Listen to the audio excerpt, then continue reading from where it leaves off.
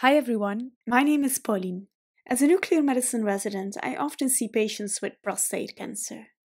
This is why I made a series of videos in which I explain everything related to the prostate.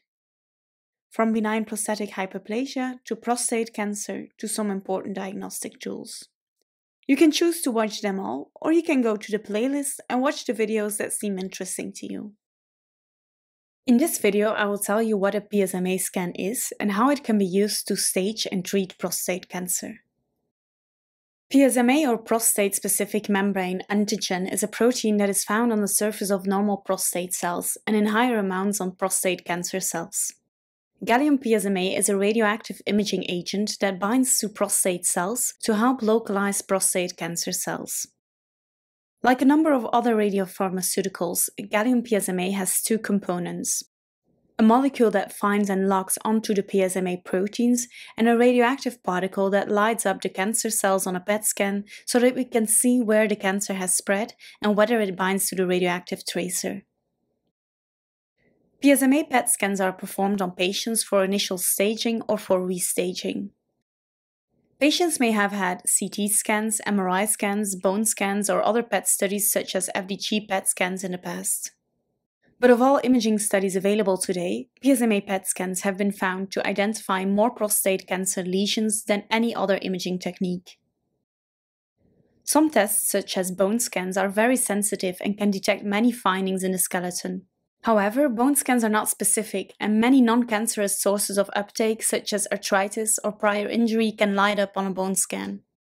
And while MRI is excellent at evaluating the prostate gland itself, it does not evaluate the whole body like PSMA PET scans do.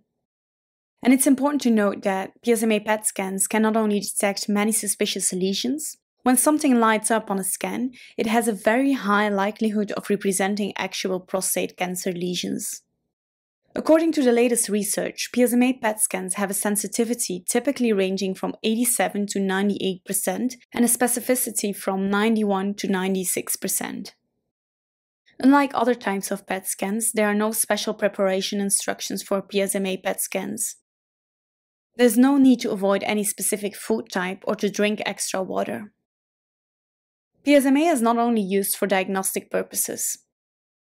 Once lutetium PSMA binds to PSMA on a cancer cell, the whole molecule is internalized by the cell and the cell is exposed to a lethal dose of radiation.